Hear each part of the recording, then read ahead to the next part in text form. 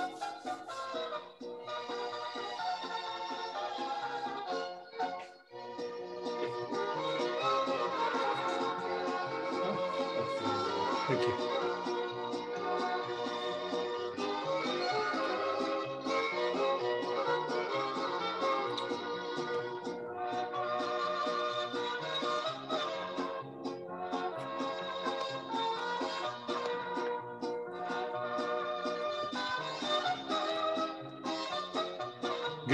morning, Dr. Roybal. Enlace, New Mexico. That is one impactful statewide collaborative run by the good Dr. Lawrence Roybal, and I am rejoined by the incredible Jessica. Welcome back, Jessica.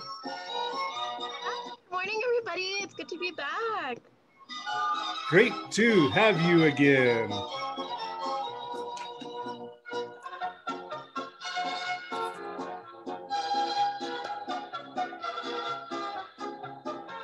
Good morning, Dr. Joe McCaffrey. Mandy Altamirano.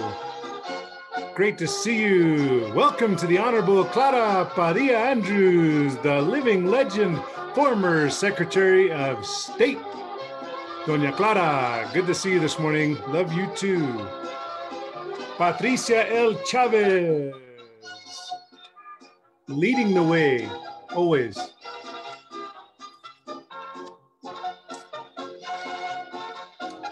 All right, it is going to be a beautiful day today on the 22nd day of January here in the land of enchantment, the Tierra del Encanto, the 47th star on the beautiful flag of the United States of America. Welcome to Cafecito con Colon. Thank you for being my Cafecito colleagues, my Cafecito crew, and my therapists because I need extrovert therapists every single day.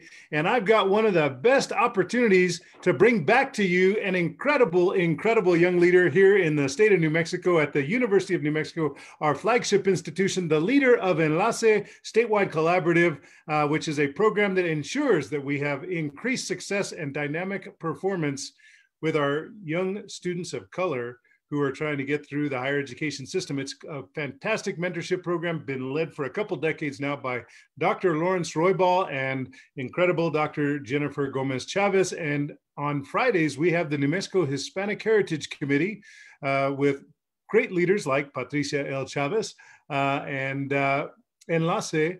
Uh, New Mexico work together to put the spotlight on great New Mexicans, great issues of Hispanic importance. Uh, and then I get to have a co host and my co-hostess this morning is Jessica Perea, who those of you that are regular Cafecito colleagues, you know that she has been with me many, many times over the last year when we've had almost 300 episodes of Cafecito con Colon, but we're thrilled to have her back. We miss Natalia. We wish her the best. She's crushing it uh, with her schoolwork, but we couldn't be more pleased than to have Jessica Perea with us again. Good morning, Jessica. Hi, good morning, everybody. It's good to be back. And yes, I'm wishing Natalia all the luck. She's awesome. Indeed, she is. Where you been? We've been missing you. I've just been focusing on school and work with Enlace, but I missed you guys too. I've been good. Yeah. Well, what did what did you do for the New Year's and to get the semester started out strong? Tell us about your habits of excellence as you get ready to lift off the semester. Well, honestly, I'm going to be completely honest. I didn't do anything special. And to prepare for this semester, I just, I rested as much as possible. I slept like all the time because once the semester starts, like this semester for me is I have a heavy load. So I know I won't be getting too much sleep. So I just tried to sleep a lot. Well, I'm glad you look well rested. That's for sure. Thank well you. You are very welcome. We are joined by some great, great New Mexico leaders uh, to talk about a phenomenally impactful organization, and it has a long track record of a track record of success, just like uh, Enlace, New Mexico. Um, and we're going to talk about New Mexico first, the journey it's been on for a journey of impact. It's incredible work as they are absolutely, bar none, the number one, the best at bringing together a collaborative conversation in a town hall format that is absolutely one that welcomes all folks, perspectives, dynamics, and opinions across the political or public policy spectrum. And I couldn't be, you know, uh, um, more impressed with a single organization, and it has such a great track record. That is a phenomenal leader for such a long time. Heather was uh, somebody that uh, I am a huge fan of and have been for many, many years. But, uh, you know, talk about filling shoes. Sometimes people are able to rise to the occasion and do just that. And I think Heather would agree that uh, the dynamic duo here between Lily and Melanie uh, has done just that. And they've continued excellence at New Mexico First. So we're going to welcome both of them. But before we do that, uh, I want to make sure Lily and Melanie can hear me okay. Uh, how about we get some good thumbs up there? How are we doing? Look at that thumbs up. It's great to have them with us this morning, and we're going to bring them uh, to camera and to the conversation uh, right after I put up some of the links of the day. And uh, we've got just a few of those for you today. It is now 9.06 on this beautiful Friday. Um, let me just give you a heads up that I've talked a lot about uh, during this year's Martin Luther King uh, Jr. Uh, holiday week. We've talked a lot about the beautiful journey of the Jewish community standing with the African American community for civil rights. And uh, let me just say that today is the last day you can actually click in and enjoy a virtual screening of Shared Legacies. Fantastic movie fantastic, absolutely amazing. And I want to encourage you to do that. So get your tickets right away. And uh, let's see here. There were some other things. Oh, this is a good one. So I talked, I think, yesterday about, you know, I don't know what it is. I'm having trouble. Uh, the uh, I, I talked yesterday about how New Mexico was front and center during the inaugural celebration uh, in three very dynamic ways. We had Dolores Huerta, who was featured uh, that evening in the celebration. As you know, Dolores Huerta, incredible, incredible civil rights activist uh, with United Farm, Farm Workers and Cesar Chavez. Uh, Cesar Chavez didn't do what he did alone. If you look to his right, you will have always seen the incredible New Mexican Dolores Huerta by his side, leading the way with Cesar Chavez. And right here in Albuquerque, you have Dolores Huerta and Cesar Chavez those beautiful avenidas coming together as they should. Uh, but she was featured during the inauguration. We had uh, uh, that incredible, uh, cool kid, young people. All of you know her. Uh, Jessica help me. Um, uh, I'm going to get this wrong.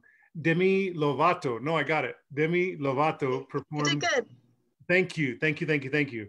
so we had Dolores Huerta, Demi Lovato, and then we had a beautiful picture of Shiprock New Mexico with one of our beautiful indigenous uh, members of our community um, performing uh, there. But what you didn't know was that not only was Cesar Chavez going to be prominently featured in the Oval Office with the family photos of President Joe Biden, there's a great story today in the Albuquerque Journal about the high praise being received by this late New Mexico artist who I walked by his work every day when I went to work as an attorney for most of my career uh, at the 500 Marquette, the old cabin building.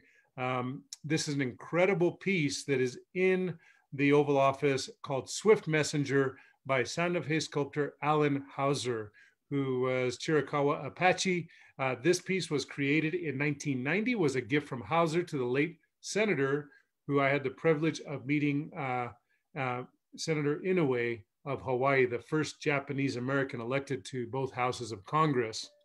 Um, Inouye, was the Senate sponsor for the creation of the National Museum of the American Indian, and Houser's Sacred Rain Arrow was in the Senate committee room for many, many years. But Swift Messenger is now uh, in the Oval Office. So, really, an awesome photo, beautiful uh, Native American on a very uh, beautiful uh, depiction of a horse uh, or just on a beautiful horse, I guess. It's not a depiction of horse. um, but you will love this piece that sits in the Oval Office.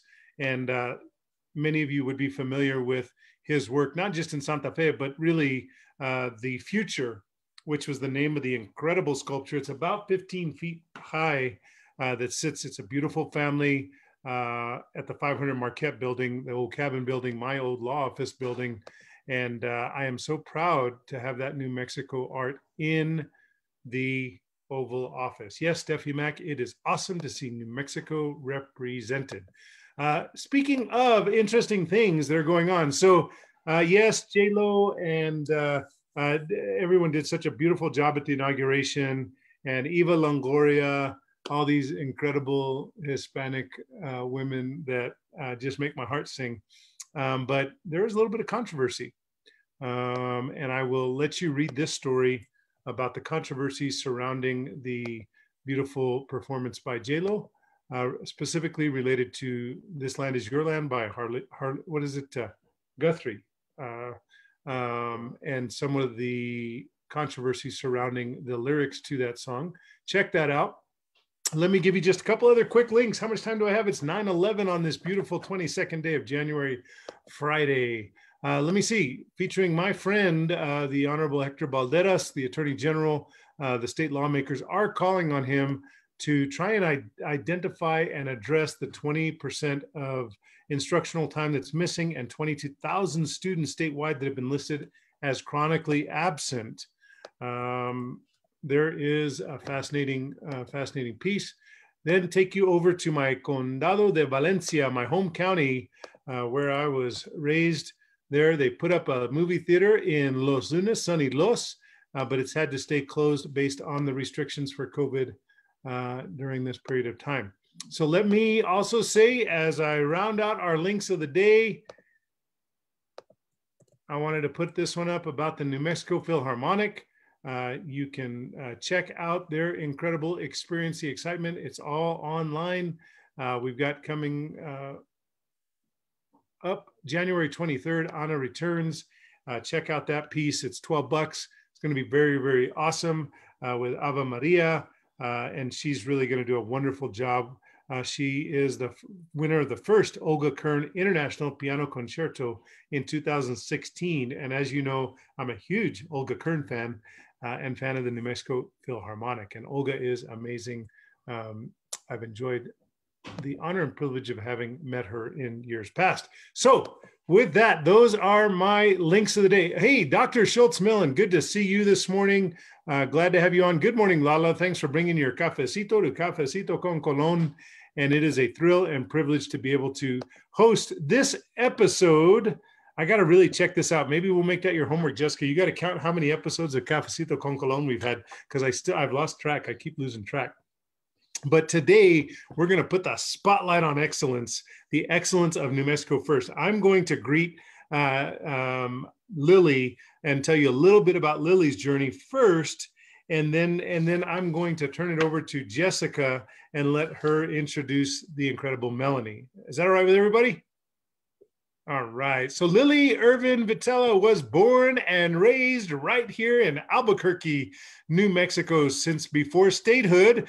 Of course, 1912 was that beautiful year when President Taft finally got it right, not without a lot of political pressure, not without a few tries before, but he finally signed that bill in January of 1912.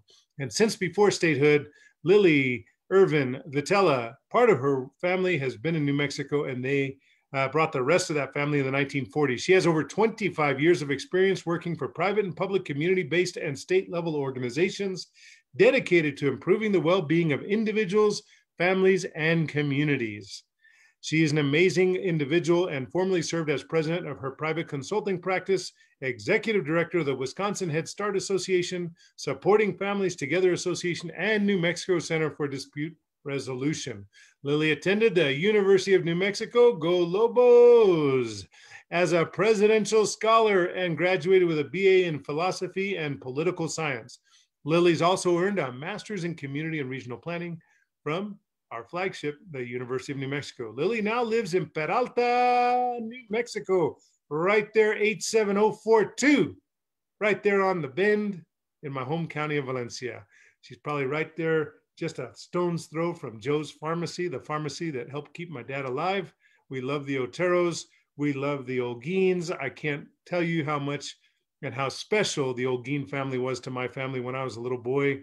Uh, County Commissioner Olguin, who's now his son, Brian, uh, I think may still be mayor as immediate past alcalde de Palata. Peralta is a beautiful place right there in Valencia County. It provides the handshake between Los Lunas and Bosque Farms. And we're just so pleased to be able to have this Peralta uh, resident on our show today because she and her family, uh, which uh, consists of her husband and two children, she enjoys spending time outdoors with family and friends. And she probably goes there on the acequia, they're there in the ditch that runs through Peralta, and she plays with her big meat goats, chickens, dogs, and cats. And Valencia County is known for its livestock and its ability to have dick, uh, chickens, goats, dogs, and cats all at one place. And Lily Irvin Vitela, welcome to Cafecito con Colon. Thank you so much for the welcome. And, and Jessica and Brian, it's so good to be with you all and to be with everybody else you've welcomed here today. So good to be here. You bet. Hey, give us real quick the 30 seconds of New Mexico first, right before Jessica Perea introduces the incredible Melanie Sanchez Eastwood. Beautiful. New Mexico First is an organization that is built with the uh, sweat, tears, and hard work of New Mexicans. Um, so any excellence that New Mexico First has really comes from the wisdom and experiences and, and know-how of other New Mexicans. And so, yeah, we've been around since 1986. We were founded by then Senators Domenici and Bingaman. As you know, there were a lot of things that they shared in common, including their love for New Mexico, and they also had a lot of political differences. But they knew that when New Mexicans come together and we put our values front and center, we come up with ideas to make New Mexico even better for all of our families, all of our children, and all of our communities. I love that. Putting New Mexico first, led by the incredible public servants with decades under their belt and like leaders we've never had before Senator Bingaman and Senator Domenici, true, true public servants who had a vision for bringing people together around the table to come up with new and creative solutions and conversations and ways to have difficult dialogues to advance and make New Mexico first. So thank you, Lily, for that. And with that, I'm going to turn it over to my superstar co-hostess. And I've already gotten the text messages saying, hey, Brian, take a back seat and let Jessica take over. he does a better job than you do. So Jessica Perea, welcome back. Bienvenidos. Gracias por venir otra vez. Of course, I'm happy to be here. Welcome, Lily. On today's show, we also have the wonderful Melanie Sanchez Eastwood, who is the Deputy Director. Um, she has over 20 years of experience in government and the nonprofit sector. She has worked for the United States Senator Pete V. Domenici. Um, she's also worked on various nonprofit organizations, those of which include the New Mexico Alliance for Legal Reform, the National Alliance for the Mentally Ill, and the National Federation of Republican Women. Melanie has a BA in political science from Coastal Carolina University, and she also has an MA in government from Johns Hopkins University. That's awesome. Melanie is also a native New Mexican who was raised in Rio Rancho, and she is also married and has one son. Welcome, Melanie. Uh, thank you for inviting me. I'm excited to be here. Well, tell us a little bit about your passion point and your work with New Mexico First and help the Cafecito colleagues who've joined us today and Jessica today understand uh, kind of your journey to this work and what for you is most enriching. Okay. Um, well, I started 10 years ago, and something I've always wanted to do um, is work in the nonprofit sector. And I found New Mexico First because it's a bipartisan organization. And um, I applied because I thought, well, just maybe they'll hire a Republican.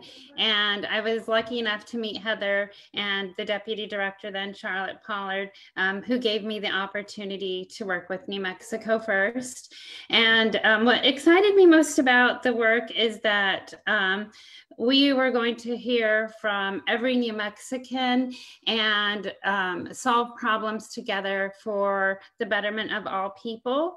And also, I was really excited that both Senators Domenici and Bingaman um, started the organization since having worked in the Senate. I often saw them work together, and like Lily said, they had differences, but they genuinely did work well together. And uh, so that was my start with New Mexico first. And um, I just felt really blessed and lucky to be even hired and continue to feel that way today and love the work that I do for New Mexicans.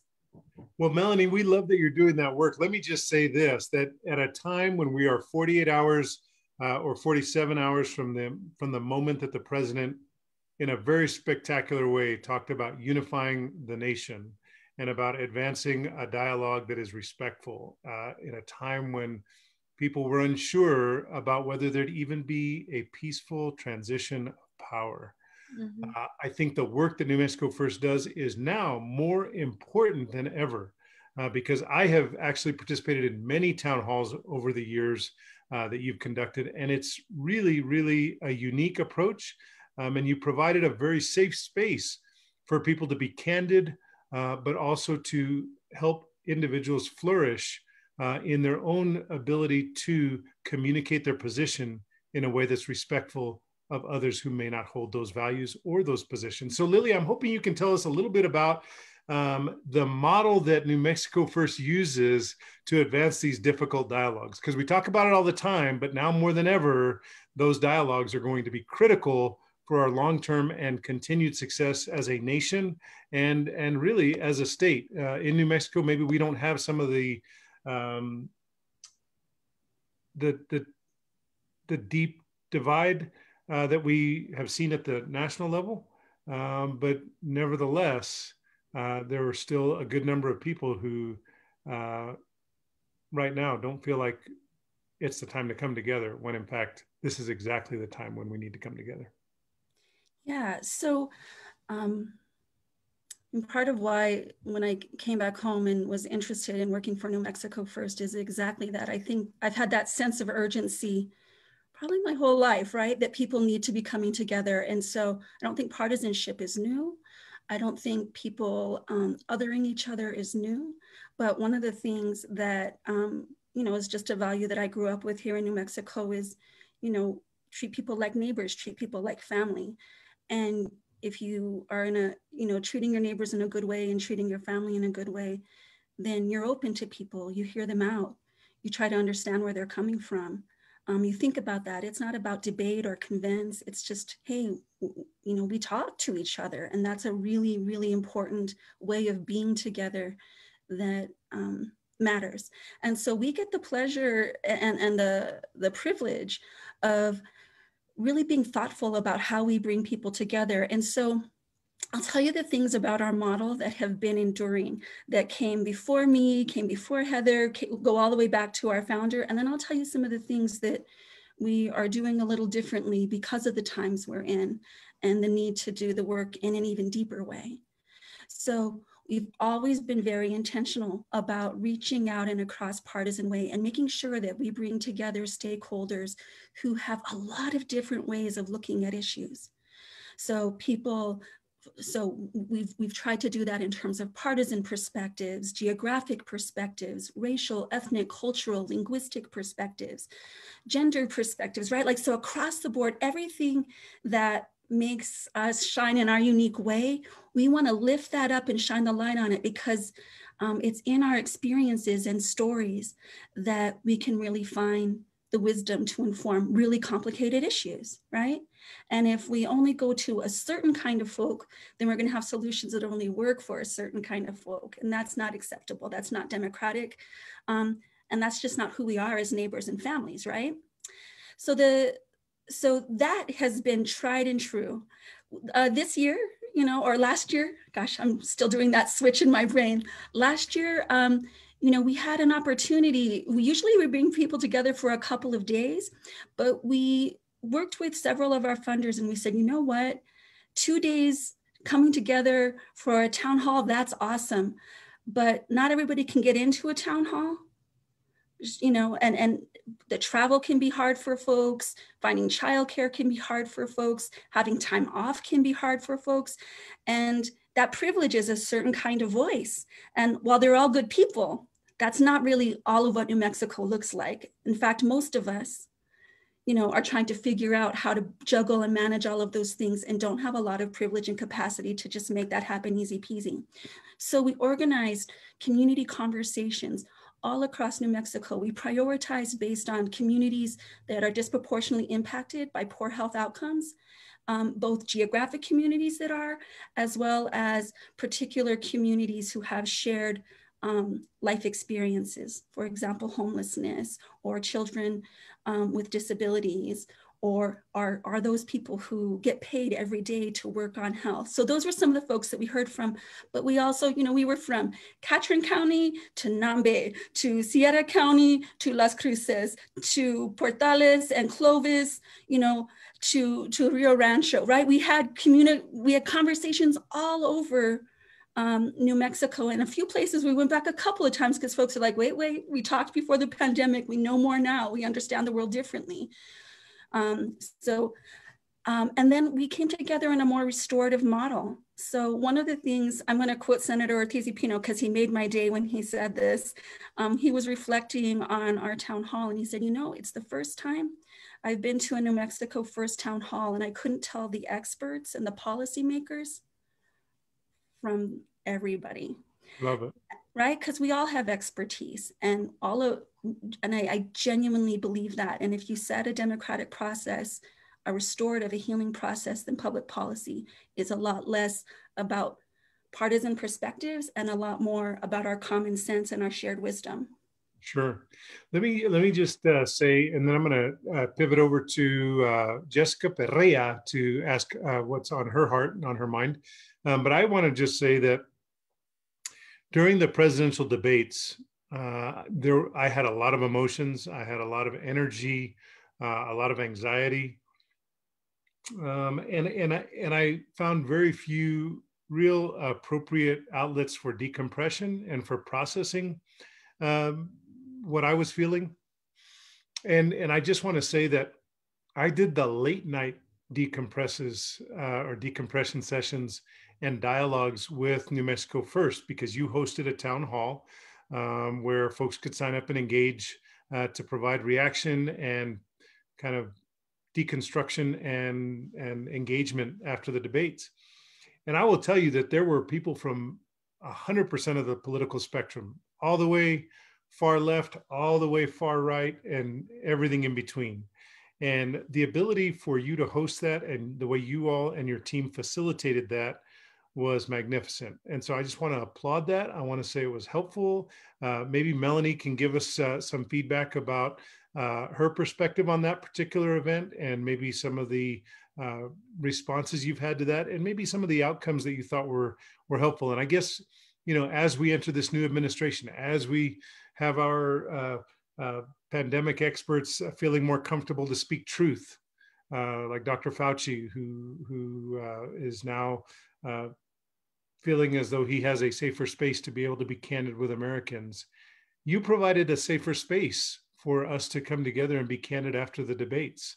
And I, I don't think I found that anywhere else. And as a former state party chair, somebody who is seen as a partisan, but maybe a little less now because I've been state auditor for 753 days. And I've shown people that I truly believe that waste, fraud, and abuse doesn't have a party affiliation uh, that we're going to hold everybody accountable regardless of where they sit on the political spectrum. I'm seen as a little less partisan than I used to be. But even me, for those who hold me out as a high partisan, uh, I found a safe and comfortable place for dialogue with what New Mexico first set up. So, Melanie, can you speak to uh, a little bit of that experience for you and maybe your perspective on that? And then we'll go over to Jessica uh, to get uh, her uh, thoughts or maybe a question that's on her heart. And I'm going to have you unmute so we can all hear you. Um, I completely agree with you, uh, Mr. Colon. I had the exact same experience, and um, I'm always afraid that I'm going to be the only Republican on the call and sort of um, worry about um, censoring myself, even though I'm more of a moderate Republican. Um, but the um, session that I participated in had a, um, a, number of people from all political parties. Another great thing we had um, were students from like ages 18 to 21 who participated from UNM.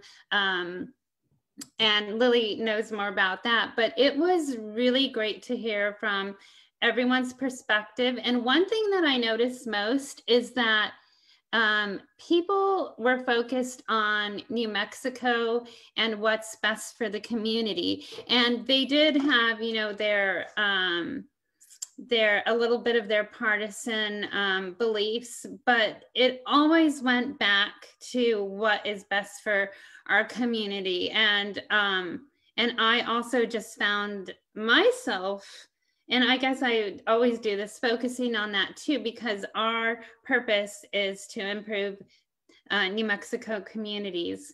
So I um, was really impressed, like you were, and um, think that it's probably one of our most recent best events. I'm so pleased that Lily decided um, to do it. And another thing, just a kind of fun thing that I thought was really cute that Lily did is she mailed everyone popcorn from a New Mexico vendor. Um, and uh, including me and it was so exciting to get the popcorn and i i admit i ate mine before the um before the debate i was just really wanted to taste it um but i think the last thing i will say is the debates were very stressful and um doing those town halls made me feel like there was hope after and and so i think if we as we move forward um, and try to um, reconcile everyone's beliefs. I, I think that it's possible and that we can do that because I still think that people have hope even if there's still some stress. So that's my hope. Thank you. I love that. Beautifully said. Beautifully said. Hey, Jessica, take it away. Yeah, of course. So, being a student myself, um, I'm super interested, and I would love to hear what New Mexico First has done for um, students that impacts young students as well as young students of color. So uh, Melanie and I can kind of tag team this one. Um, so there are several ways, and it's not just what we do for students, but it's treating students as co-creators of democracy, right? Young people aren't just recipients of good public policy, they have to be participants in creating it.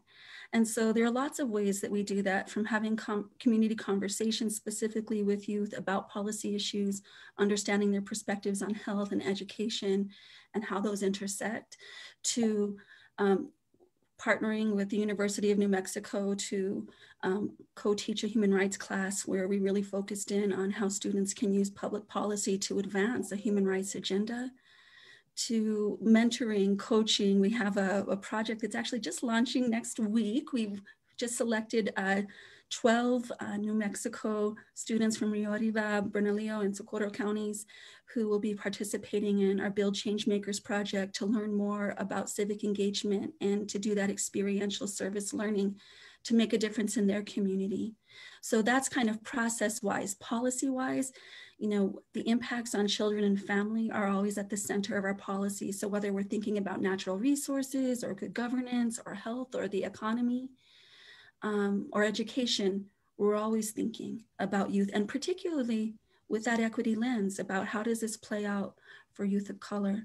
How does this play out for youth who have historically and systematically been disenfranchised from opportunity? Melanie, do you want to say more about some of that, those historical impacts? Um, yes, and just also want to mention how excited I am to work with the youth in this new build program. Um, most of them, all of them are going to come from a program called Upward Bound. And um, I don't know if people know about it, but um, it uh, works through different universities throughout the state, as Lily mentioned, and um, serves uh, mostly underrepresented groups. And um, I am actually a graduate of Upward Bound, and so it's extra special to me. I think Upward Bound helped me become more successful in my life, and that's my hope for these uh, students that are going to uh, take part in this program. And every response we've had back um, just says that, like, oh, I'm so excited. I can't wait to start this.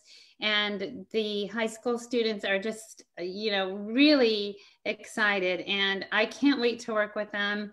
I am so excited. I think that's been the highlight of my week with Lily.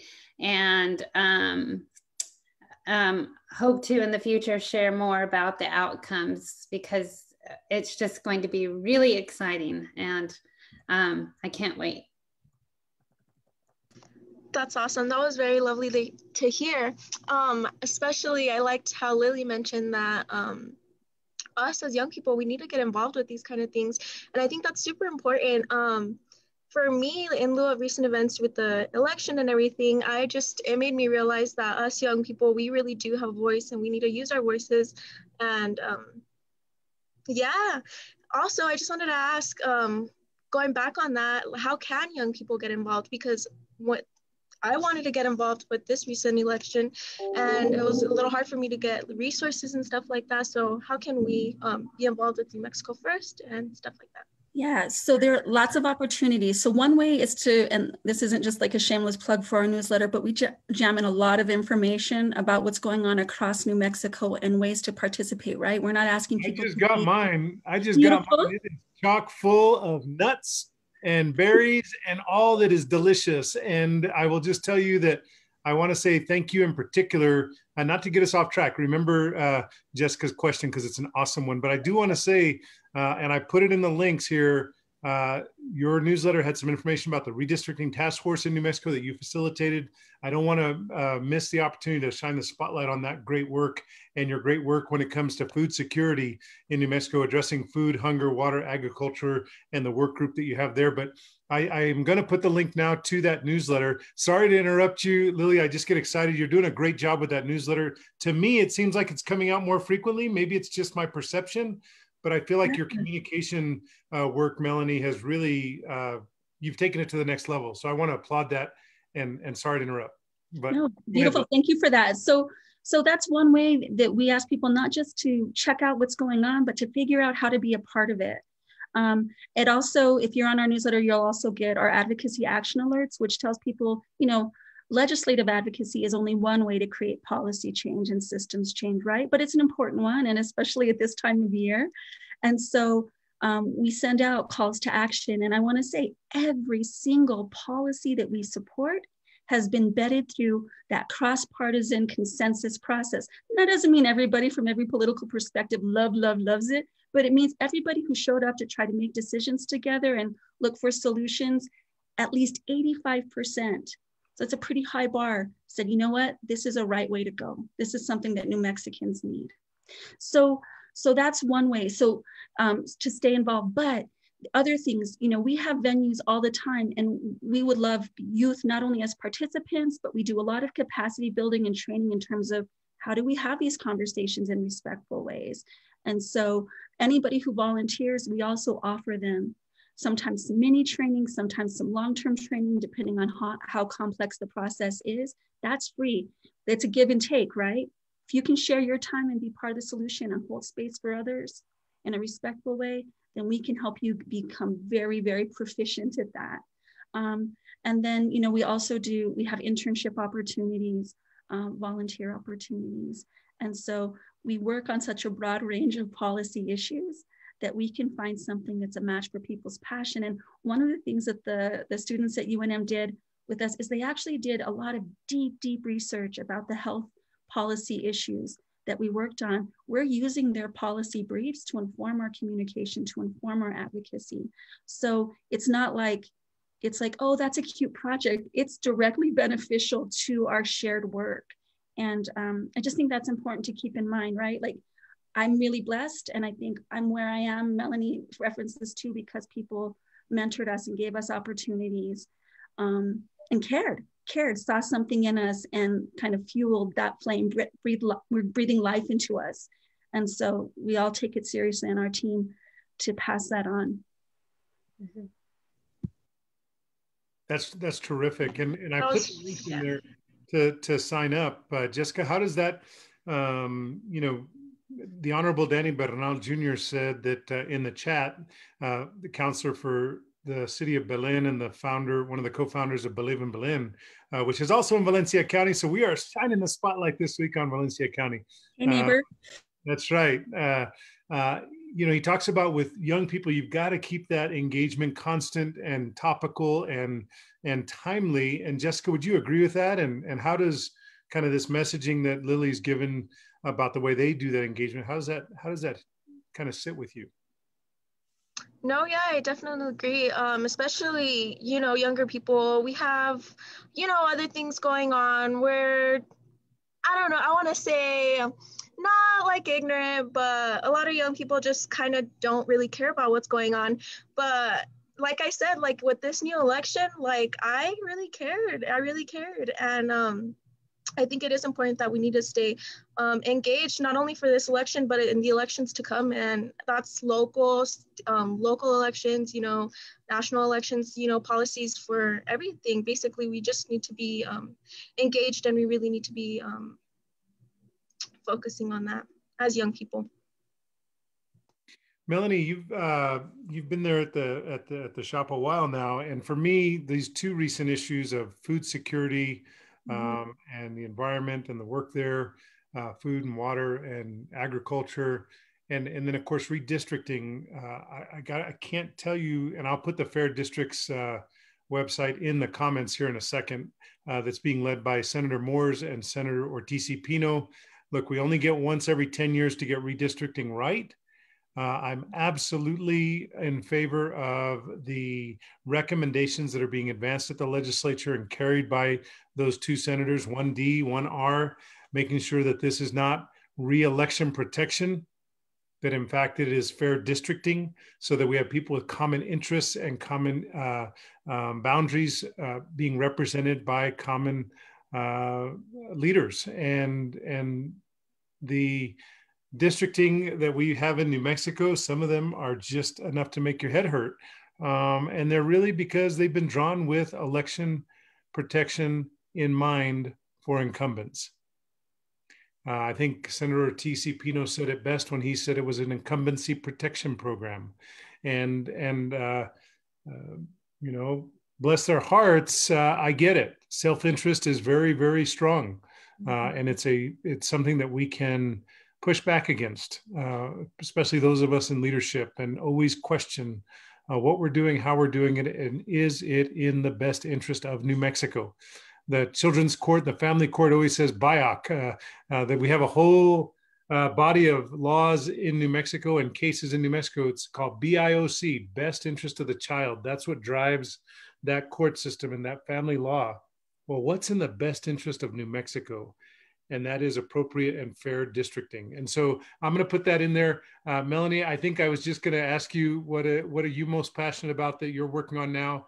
And what's your ask uh, for people that are tuning in today to Cafecito con Colon? Um, I think what I'm most passionate about now is uh, civic engagement for youth, like I mentioned um, before. And um, I'll also mention that one thing Lily does that um, she didn't mention is almost every event we have, she makes sure that she does outreach to students so that they always participate in a part of the event. Um, so it's not just the one event we're doing. Um, she continuously looks for opportunities for us to engage youth. Um, and that is something that is a little different from the past years that I really enjoy working on. I also love our ethics work, like the redistricting. Um, and um, we also have a task force, New Mexicans for um, Ethics Coalition, that just keeps an eye on the work that the New Mexico, New Mexico Ethics Commission does. And so I think like probably most New Mexicans, those two things aren't very important.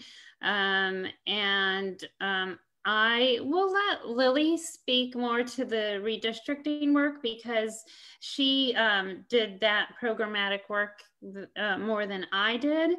Um, and she can tell you a little bit more about, about that and what we did. Awesome. So uh, there's the, the beautiful thing is there's not a thing that we work on that we're not passionate about. And that that passion is kind of sustained spread because um, we share that passion with other folks. We we don't have the capacity. We're a relatively small team and we have pretty modest funding to do things that are fluffy. So everything we're doing we're doing with great intention and really wanting to make sure that it resonates with the needs and interests around democracy building of other new mexicans. So um, I want to go to the comment first about uh, redistricting and why it's so critically important and self-interest. So, you know, self-interest can be short-term or it can be long-term. And self-interest can be enlightened or it can be um, um, kind of Machiavellian or self-serving, right? And so um, if we have in interest in living in a healthy democracy. We know that people who live in more functional democracies have better health outcomes, have better economic outcomes, have better human rights outcomes. Right? We know that. There's that's not a like, hey, I'm propagandizing. That is like the science, the evidence backs up that healthy democracies have better outcomes for everybody. When we're really struggling in those ways, when people do not have a say in creating the solutions that matter most to them, when they have a limited say in choosing the folks who represent them to do that nitty gritty mechanical policy making, we're in trouble. So, short term, unenlightened self interest says protect your partisan interest, draw your map, carve it out, do whatever horse trading you need to do to get things done and protect your power. But that's part of why, Jessica, to your point earlier, I think sometimes you don't care. It's like if the fix is in, if it's all a foregone conclusion, if those who have power will continue to do the things that serve their interests, why should I engage? It, it breeds cynicism and distrust and disengagement because people are smart. People want to put their time and energy where there's impact. We all want purpose. And if we're finding more of that purpose with our friends and family, and we're disconnecting that from politics, is because politics aren't enough about being friendly and about family, right?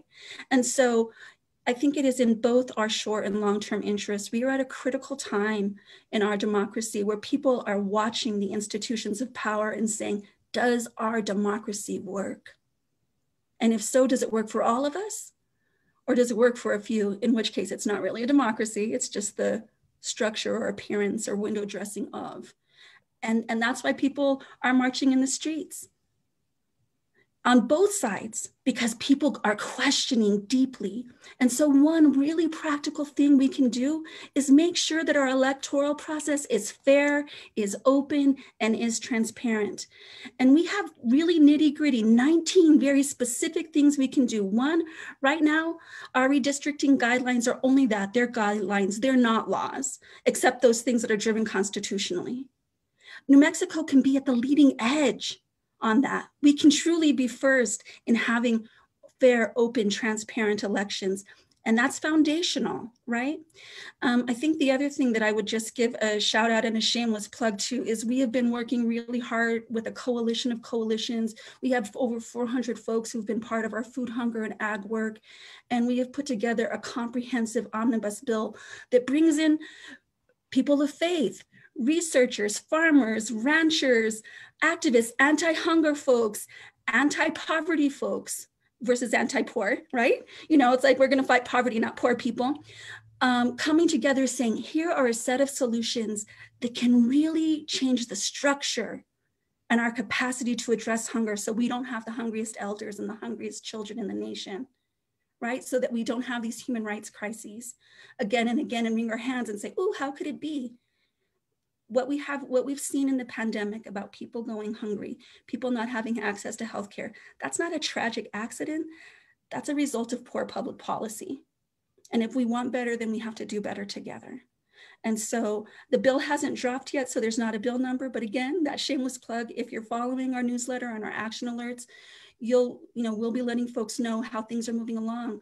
And if any of that speaks to you and calls to your own heart and passion and you need more information, anybody on our team would be happy to break it down more for you, to invite you to meetings where we're monthly, weekly, going over these things. So there are ways to be as engaged as you want. And we know that New Mexicans are busy trying to make a living, taking care of their families, going to school. So there's no wrong door in to being a part of the solution. You can do as little or as much as you have capacity or feel called to do. All right, better together, moving forward together, and there is no wrong door in. Uh, the point of entry is always correct when you're walking in to New Mexico First work. Uh, thank you for that, Lily. That is absolutely awesome. Let me just say uh, that puts a finer point or a great example for the importance of this work when it comes to redistricting and addressing uh, hunger issues and food security and things like that. Uh, Councilor Bernal Jr. says, Isn't it crazy that my town is split between three state representatives? One of the districts goes all the way to Catron County. Catron County. I mean, uh, our sister community, which is Rio Communities, uh, that representative district extends from Lower Valencia County to Santa Fe County. Yeah. unbelievable. Our redistricting uh, maps look like our special shapes rodeo balloon fiestas. That's that's wild. That's wild. It, it shows like that, that there's no not a good logic in that other than political motivation. I think that's right. And I appreciate you shining the spotlight on that. And I also want to give a quick shout out to former Judge uh, Roderick Kennedy of the Court of Appeals, uh, Republican, uh, Libertarian, Independent. God bless him. I I, uh, I think he's registered Republican. Uh, dear friend of mine. Uh, I enjoy him so much. And then somebody who I hold in such high esteem co-chaired this task force with Roderick Kennedy, and that is Justice Edward L. Chavez and uh, he's formerly of the New Mexico Supreme Court. Uh, the Democrat. Chief Justice, right? So they were amazing co-chairs, really. Them, yeah, just to be clear, so that I don't uh, get my bar card pulled, they were both former chiefs of their respective courts. Uh, Chief uh, Judge Roderick Kennedy and Chief Justice Edward Chavez. So uh, thank you very much. So let's uh, let's uh, uh give Jessica another opportunity. Talk about empowering our youth. Uh, I've spent a lot of time talking, and uh, let me turn that over to Jessica Perea to guide the last ten minutes or so of our show. Yeah, so just as I was mentioning, I'm not very educated like on the topics of, you know, policy and stuff like that. And for me, I, I really want to get more involved and get more involved with the community, um, especially as I grow older. Now I'm noticing like many disparities, you know, being in college, how um, different people have like different resources available to them. So what what are just some things like some issues do you, that you think um, New Mexicans are facing right now and what kind of policies should we be looking into as young people? And should we be um, doing more our research on and stuff? One of the things we're really challenged by in new mexico is um, what folks describe as our brain drain right? That a lot of um, youth in new mexico who end up having opportunities for an education or for um, kind of work-based learning opportunities sometimes the grass looks greener in other places. And I'm going to be honest. I mean, I I remember when I decided to stay at UNM, and my my peers gave me a hard time. You know, to to be quite frank, there was no way, even with other scholarship offers, there was no way I could like eat and keep a roof over my head and go to school and have my tuition paid. And so the presidential scholarship was a beautiful offer, and I took it, and it was a lifeline for me and and i had no intention of leaving new mexico. This is my home. But i did. I left for 14 years. Um, because i wanted to raise my kids in a safer place and not send them to private school. I wanted them to have a really high quality public education. And that's a horrible choice for folks to make. And i share that personal story because i came home and i want the opportunity for my children to want to make a life here but it's not always as appealing as some of the other places that they've had the great good fortune of being educated and having employment opportunities. And so for me, it's all very much inter- interconnected, right? If, if we want a healthy economy, then we need a healthy health system. If we want a good health system, then that system is going to be the most functional if we grow our own, because health outcomes are directly connected to how well people understand the values and the culture and the beliefs of people, right? Treatment plans don't work if they're disconnected from how people understand themselves in this world. Just people won't take the advice, right? So so good luck. You can, you know, give all the advice you want, but if it doesn't match, it doesn't match. And so if we if we do a better job of educating our own and each other, and people can see themselves in those kinds of roles, that's good for New Mexico. And also how we use our natural resources. Right? We have a beautiful state. I, I used to joke that I missed our mountains as much as I missed my folks. It's not really true, but it's pretty darn close. Like I would ache for home. I would miss a walk in the bosque or a hike in the mountains uh, or a walk along the acequia as part of my daily routine um, because I know who I am as I'm connected to my place, right? And so, all of those issues, I don't think there's any one issue, right? So, if there's something that you're passionate about, policy expertise, that's developed over time, right? But if you have a deep understanding of issues and how you want to make New Mexico better, then you've got something to offer. And I'm going to pass. Sorry, Melanie, I was a ball hog. I'm passing it back to you. I loved it. Let me. I, am going to Melanie. Can I step in? I just want to ask in that exact regard. You know, look, there's no. It's it's it's not a it's not a secret. Uh, voter registration engagement happens at a higher level in Democrats than it does Republicans, and then the independents and those in the middle get to make the determination of who wins. Uh, you are an incredibly um, wonderful leader uh, with a voice that uh, speaks for Republican platform. Uh, you've been a leader at a national level. Mm-hmm. Uh, you know, and I know that people heard that when Jessica introduced you. I mean, you've been a national leader when it comes to Republican uh, politics. You worked with uh, Republican icon, the late Senator Domenici. If your son looked back at this particular moment in time, this mm-hmm. particular moment in time, you know, two weeks after January 6th, mm-hmm. two days after the inauguration of our president, and you being a Hispanic woman who stands with the Republican Party's long term values, uh, long term, I'm not talking about like in this slice, but at this moment in time, mm-hmm. and then working with such a powerful platform that is New Mexico First, what do you want him when he looks at this moment in time, what do you want your son's takeaway to be as a young person mm-hmm. uh, looking up to his mom who's proud of the work that she's done? Because I'm proud of the work that you've done. Uh, and I'm a Democrat and I'm proud of the work you've done. But what do you want your son to remember when he when he stumbles across this video that has 2,000 views?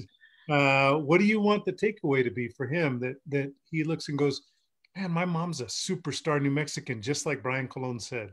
Oh, well, thank you very much. Um, my son and I have actually talked about this and before the election and throughout the election. And one thing that I've always emphasized to him is it's most important for him to be a good human being and base his decisions on that. And the way we looked at the election um, was that the most important thing was our democracy and that that had to be the priority and not a person. And because, you know, people leave, power changes. And um, part of him being a good human being is to look at candidates and say, is this person really a good human being? And I think we, he and I talked a lot about um, President Trump and came to the conclusion he obviously can't vote that we we didn't believe that he was a good human being. And we believed that our democracy and its institutions are far more important. Um, and for the last two elections i um, did not vote for him because i do believe our institutions are more important. And um, I voted for Gary Johnson, a New Mexican.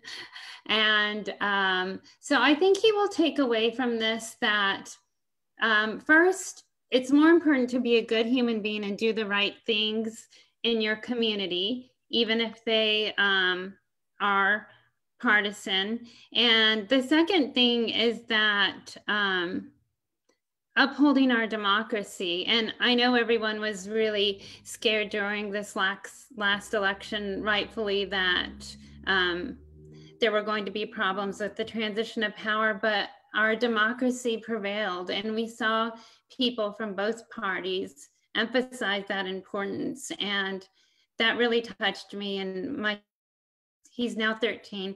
Um, we talked about that often. And so I hope that he takes that with him. I told them, tell, tell him he can pick his polit- political party of choice. And um, ironically, he used to, like four years ago, he loved Karl Marx. And my husband didn't want him to read the book. and I said, no, he's allowed to because he was allowed to choose and, and learn. So mostly I want him to learn. And I hope that he remembers mom as someone who allows them to learn, be a good person, and remember our institutions are valuable and that I love him. Oh, you're on mute, Mr. Colon. I know that. Um, I wanted to just say that what a great place to land. Uh, endless love.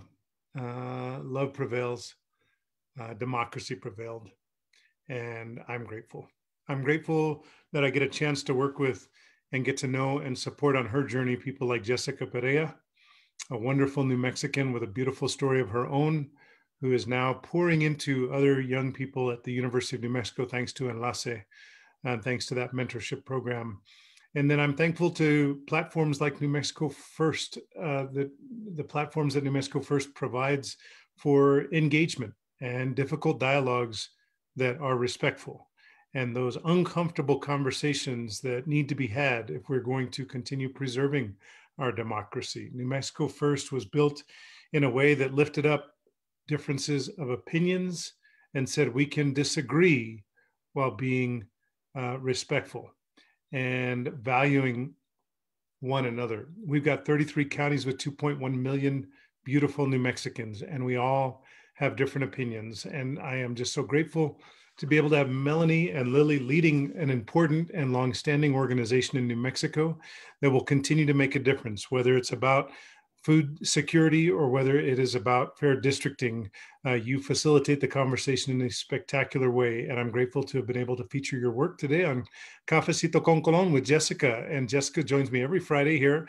on Cafecito con Colon, thanks to the New Mexico Hispanic Heritage Committee and Enlace New Mexico and the beautiful heart that she brings and that million dollar smile is very, very much appreciated. And I'm grateful to New Mexico First uh, for giving me the opportunity to spend some time with Lily and Melanie. And Lily and Melanie, did is there anything New Mexico First does that I didn't give you an opportunity to talk about? We're right at 10:01 on the top of the hour. We're, next week we're going to have some great folks like Michael Barrio talk about housing uh, and and security and housing, and we're going to have people like uh, uh, Ann Edenfield Sweet with us, uh, who's founded uh, Wings International ministry that helps uh, in, in a very beautiful way uh, transition folks who are uh, incarcerated into the community and continuing to provide support for those families. It was something that is her lived experience, and I love her to death, and I'm proud to support Wings.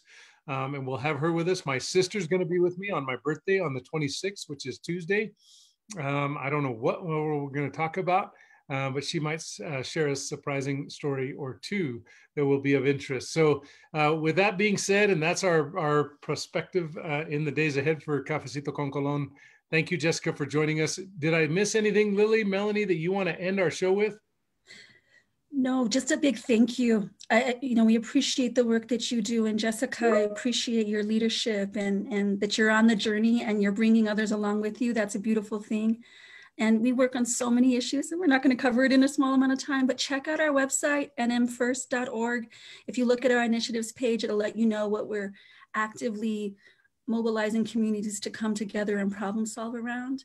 And again, um, if you do the deep dive on our website, you find something else. If we're not actively working on it, we know folks who are. And so we're happy to connect you with other good New Mexicans.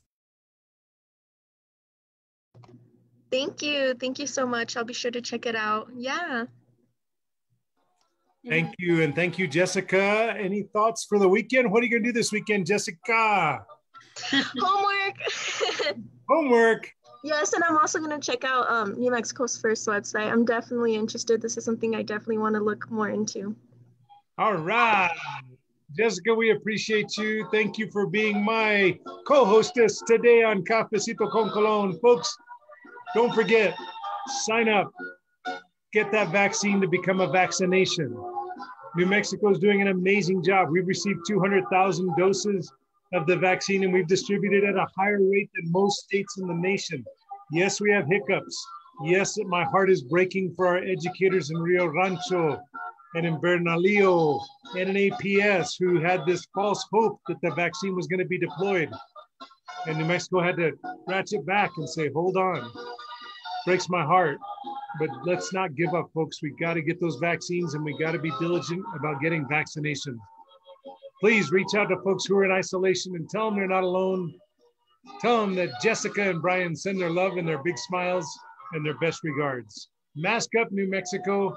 Let's make it a beautiful day here in the land of enchantment, the Tierra del Encanto. And thanks again to Lynn Marie for my beautiful my beautiful mask that I wore on Inauguration Day.